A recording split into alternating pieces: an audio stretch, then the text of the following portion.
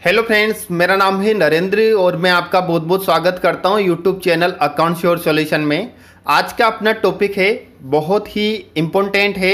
आज के टॉपिक में मैं आपके लिए बताऊँगा बिज़ी सॉफ्टवेयर में मोबाइल नंबर से केस बिल को कैसे देखें।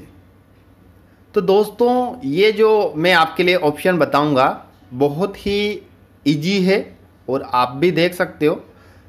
तो दोस्तों, क्या होता है, अगर आपके पास कोई मार्ट है, कोई डिपार्टमेंटल है तो वहाँ पर जो भी कस्टमर आते हैं, उसके केस में ज़्यादातर आप बिल बनाते हो। 99 परसेंट केस में बिल बनते हैं। अगर किसी कस्टमर का क्रेडिट भी बनाते हो तो बहुत कम बिल बनते हैं क्रेडिट के। तो केस के बिल बनाते हो तो क्या प्रॉब्लम आप लोगों को आती है? कभी कोई कस्टमर आ जाता है कि, सर, ये प्रोडक्ट आपके यहाँ से लेके गया हूँ, ये प्रोडक्ट ख़राब है। तो आप ट्रेस नहीं कर पाते कि, सर, आप हमारे यहाँ से लेके गए तो कौन सा बिल नंबर है? तो आपका जो भी कस्टमर है, वो बिल नंबर नहीं बता पाता। मोबाइल नंबर से आप कैसे सर्च कर सकते हो किसी भी बिल को? तो दोस्तों, ये सारा प्रोसेस मैं आपके लिए बताऊँगा। वीडियो में आगे बढ़ने से पहले एक बार मैं आपके लिए बता दूँ, अगर आपने चैनल पे फ़र्स्ट टाइम विज़िट किया है तो दोस्तों, आप अपना जो चैनल है अकाउंट श्योर सॉल्यूशन अगर आप बिज़ी सॉफ्टवेयर सीखना चाहते हो तो आप चैनल को ज्वाइन कर सकते हो। तो दोस्तों, आप चैनल पे विज़िट कर सकते हो। काफ़ी वीडियो मैंने बना रखी है। आप देख सकते हो कि यहाँ पे मैंने 107 वीडियो बना रखी है। आप जो भी वीडियो देखोगे, उसमें आपको कुछ नया सीखने को आपको मिलेगा। जो भी वीडियो मैंने बना रखी है बिज़ी सॉफ्टवेयर की है, बहुत ही यूजफुल वीडियो है। एक प्लेलिस्ट भी मैंने बना रखी है, जिसमें जैसे जीएसटी रिटर्न से रिलेटेड मैंने कस्टमाइज फॉर्मेट बना रखे हैं। कस्टमाइज जो बीजी सॉफ्टवेयर में नहीं है, मैंने स्पेशली बना रखी है रिपोर्टें वो भी आप चेक कर सकते हो बीजी कस्टमाइज फॉर्मेट में। ये बीजी सॉफ्टवेयर को मोबाइल में कैसे चलाए, ये सब कुछ वीडियो मैंने कंप्लीट तरीके से बना रखी है। प्ले है, आप चेक कर सकते हो जी रिटर्न किस तरीके से निकालते हैं कौन कौन सा रिटर्न निकलता है बीजी सॉफ्टवेयर में, ये सारा सब कुछ प्ले में आप चेक कर सकते हो। तो दोस्तों, आ जाते हैं अपने टॉपिक पे। तो मैं आपके लिए, ये जो मैं प्रोसेस आपके लिए बता रहा हूँ, बहुत ही यूजफुल प्रोसेस है। ये आपके नहीं, काफ़ी लोगों के प्रॉब्लम है, जिनके मार्ट है, उनके सबसे ज़्यादा प्रॉब्लम है। तो इसका सॉल्यूशन क्या है, ये सब कुछ मैं आपके लिए इस वीडियो में बताऊँगा। तो फ़र्स्ट आपको क्या करना है? फ़र्स्ट आपको आपके बिज़ी सॉफ्टवेयर में एक ऑप्शन अनेबल करना है। वो ऑप्शन क्या है? सेटलमेंट का जो ऑप्शन होता है, वो आपको अनेबल करना है। इसके बाद आपको ना तो कस्टमर खोलने की आवश्यकता है और ना ही कस्टमर का नाम लिखने की आवश्यकता है। आप जैसे ही उसका कॉन्टैक्ट नंबर एंटर करोगे तो आपने जहाँ पे भी उस पार्टी का बिल बनाया होगा या उस कस्टमर का आपने बिल बनाया है, वो बिल आपके सामने आ जाएगा और आप इजी तरीके से चेक कर सकते हो कि ये कस्टमर आपके पास आया था। दोस्तों, जो सेटलमेंट का जो ऑप्शन है, उसको अनेबल करने के लिए आपको एडमिनिस्ट्रेशन पे क्लिक करना है कॉन्फ़िगरेशन पे आपको क्लिक करना है। इसके बाद वाउचर सीरीज़ कॉन्फ़िगरेशन पे आपको क्लिक करना है सेल्स पे आपको क्लिक करना है और यहाँ पे जो मेन है, उस पर क्लिक करना है। वाउचर कॉन्फ़िगरेशन पे आपको क्लिक करना है। इसके बाद ये जो ऑप्शन है कॉन्फ़िगर एडवांस फोर्स ऑप्शन इस पर आपको क्लिक करना है। सेटलमेंट का जो ऑप्शन है, यहाँ पे आपको वाई करना है। इसके बाद केस पे आपको टिक मार्क कर देना है। और यहाँ पे can change account in voucher इस पर आपको वाई करना है और यहाँ पे आपने केस लिख दिया है और इसके बाद ये जो नरेशन का जो ऑप्शन है, ये आपको ज़रूर वाई करना है। इसको वाई करोगे तभी आपका जो मैं आपके लिए प्रोसेस बता रहा हूँ, वो सक्सेस हो पाएगा। तो यहाँ से आपको इसको वाई करना है। वाई करने के बाद मोस्ट इम्पोर्टेंट है इनफोर्स नरेशन जो लिखा हुआ है, ये आपको यहाँ से वाई करना है। इसके बाद कर देना है आपको ओके ओके कर देने के बाद सेव कर देना है। इसके बाद कर दिया मैंने सेव। तो ये ओनली एक ऑप्शन आपको अनेबल करना है। इसके बाद जैसे आपका बिल बनाने का जो तरीका है, वो आप कैसे बनाते हो? आपके हिसाब से जैसे भी बनाते हो, लेकिन जो मैं आपके लिए प्रोसेस बता रहा हूँ, इस तरीके से आपको बिल बनाना है। और बिल बनाने के बाद जैसे आप अपने कस्टमर जो भी आपका कस्टमर है, यानी किसी पार्टी का आपने बिल बनाया और यहाँ पे पार्टी का नाम ना लिख के मैं ओनली केस यहाँ पे लिख रहा हूँ। जो भी मेरा कस्टमर है काउंटर सेल है, मैं नाम इसमें नहीं लिख रहा हूँ। और इसके बाद जैसे मैं यहाँ से कोई भी प्रोडक्ट सेलेक्ट कर लेता हूँ नोकिया मैंने सेलेक्ट किया। दो पीस इसकी क्वांटिटी कर दी है और 1500 मैंने रेट कर दी है। यानी तीन हज़ार पाँच सौ चालीस रुपये का बिल बना है।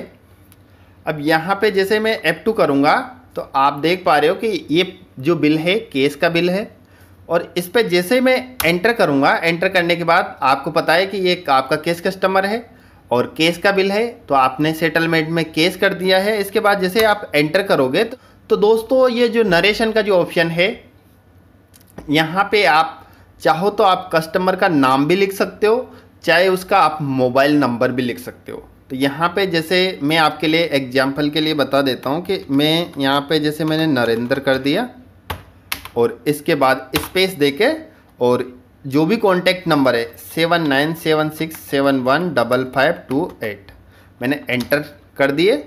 और इसके बाद जैसे मैं ओके करूँगा ओके करने के बाद कर दिया मैंने इसको सेव ये फ़र्स्ट मैंने बिल बना दिया है। इस तरीके से आपको बनाना है। चाहे तो आप नाम भी लिख सकते हो, मोबाइल नंबर भी लिख सकते हो। तो ये जो मोबाइल नंबर मैंने लिखे हैं, फ़र्स्ट मैं इसको सर्च करके बता देता हूँ, कहाँ से आपको सर्च करना है। आपका जो भी बिल बनता है, आपको इस तरीके से मोबाइल नंबर लिखने हैं। मोबाइल नंबर आप जैसे लिखते हो, उस पार्टी के नाम से, उस मोबाइल नंबर के नाम से जितने भी बिल आपने काटे हैं, वो बिल सारे आपके सामने आ जाएँगे। तो ये एक ही बिल मैंने बनाया है। और इसको सर्च करने का तरीका है, यहाँ पे क्यूरी जो सिस्टम है, इस पर आपको क्लिक करना है। और यहाँ पे क्यूरी ऑन ट्रांजेक्शन इस पर आपको क्लिक करना है। क्लिक करने के बाद ऑल आपको सेलेक्ट करना है। और दोस्तों, यहाँ पे आपको मोबाइल नंबर एंटर करना है seven nine seven six seven one double five two eight तो ये जो भी मैंने मोबाइल नंबर एंटर किए थे, और यहाँ से जैसे मैं ओके करूँगा ओके करने के बाद यहाँ से एफ़ टू प्रेस करूँगा। तो यहाँ पे जो भी मैंने बिल नंबर बना रखा था, यानी अभी मैंने एक बिल बनाया था तो जैसे ही आपके पास कस्टमर आता है तो डायरेक्ट आपके कस्टमर से आपको क्या पूछना है? उनके कॉन्टैक्ट नंबर आपको पूछने हैं। जैसे आप कॉन्टैक्ट नंबर पूछोगे और यहाँ पे एंटर करोगे, यानी यहाँ पे जैसे कॉन्टैक्ट नंबर एंटर करोगे तो वो बिल आपके सामने आ जाएगा, जो उसका बिल बनाते टाइम पे आपने यहाँ पे एंटर किया था। तो ये तो कॉन्टैक्ट नंबर से ढूंढा है, बाकी नाम से भी मैं ढूंढ के बता देता हूँ आपके लिए। यहाँ पे आपको जैसे आपने कॉन्टैक्ट नंबर एंटर किए हैं, यहाँ पे आपको नाम एंटर करना है। मैंने यहाँ पे नाम लिख दिया है और जैसे एप टू करूँगा। एप टू करने के बाद यहाँ से नाम से भी आप पता कर सकते हो। तो दोस्तों, आप ये जो मैंने सिस्टम बताया है अगर आपके मार्ट, डिपार्टमेंटल, आपके कोई केस के बिल बनते हैं और कभी आपके सामने ऐसा इश्यू आता है कि कोई भी कस्टमर आके बोल देता है कि, सर, ये आपके यहाँ से मैं प्रोडक्ट लेके गया हूँ। तो आप उसके नाम से सर्च कर सकते हो या फिर आप उसके कॉन्टैक्ट नंबर से आप सर्च कर सकते हो। तो दोस्तों, ये जो कॉन्टैक्ट नंबर लिखे हैं आपने, अगर आप चाहते हो यानी एक सिस्टम में आपके लिए बता देता हूँ। मेरी कोई पार्टी थी, उसने मेरे से बोला था कि, सर, हम जो ये सेटलमेंट करते हैं, यानी जो भी कॉन्टैक्ट नंबर हम लिखते हैं, एक बार मैं आपके लिए बता दूँ। तो ये तो मैंने नाम भी यहाँ पे लिख दिया और मोबाइल नंबर भी मैंने लिख दिए हैं। तो यहाँ से वो क्या करते हैं, अपने कॉन्टैक्ट नंबर यहाँ पे एंटर करते हैं और इसको कर देते हैं सेव सेव करने के बाद वो चाहते हैं कि हमारे जो भी कस्टमर यानी एक तारीख से और तीस तारीख तक जो भी कस्टमर आया है, उनके कॉन्टैक्ट नंबर पे हम एसएमएस भेजना चाहते हैं। आप इन मोबाइल नंबर की आप लिस्ट भी निकाल सकते हो। ये लिस्ट आपको कैसे निकालनी है, ये भी प्रोसेस में अगली वीडियो में आपके लिए बताऊँगा कि आप जो भी आपके कस्टमर की जो भी मोबाइल नंबर आप एंटर करोगे तो उनकी लिस्ट भी आप निकाल सकते हो। तो दोस्तों, यहाँ से आप कॉन्टैक्ट नंबर से भी सेव कर सकते हो और उसके नाम से भी सेव कर सकते हो। आपने नाम लिखा है तो नाम से सर्च करना है। अगर कॉन्टैक्ट नंबर लिखा है तो कॉन्टैक्ट नंबर से आपको सर्च करना है। दोनों भी आप लिख सकते हो तो यहाँ से इसको कर दिया मैंने ओके ओके करने के बाद एक बिल और भी मैं आपके लिए बना के बता देता हूँ। इसी मोबाइल नंबर से मैं एक बिल और भी आपके लिए बना के बता देता हूँ। दोस्तों फीचर्स बहुत ही यूजफुल है। इसका अगर आप उपयोग करना चाहते हो तो ज़रूर उपयोग कर सकते हो। यहाँ पे मैं नेक्स्ट बिल बना के आपके लिए बता देता हूँ कि यहाँ पे मैंने पार्टी का नाम केस किया, जो भी मेरा केस कस्टमर है, उसका मैं बिल बनाना चाहता हूँ। और यहाँ पे मैंने आइटम सेलेक्ट किया। यहाँ पे जैसे मैंने इसकी क्वांटिटी करी है, बीस क्वांटिटी कर ली है, चौबीस सौ रुपये का बिल बना है। और जैसे मैं एप टू करूँगा एप टू करने के बाद चौबीस सौ रुपये और यहाँ पे वापस वही नंबर में एंटर कर देता हूँ कि आप जैसे सोचते होंगे कि अगर मैं वही नंबर एंटर करता हूँ कि एक कस्टमर आपके पास दो बार आ गया या चार बार आ गया तो वो वही नंबर लिखवाएगा और वो उसके कौन कौन से बिल आपके सामने आते हैं?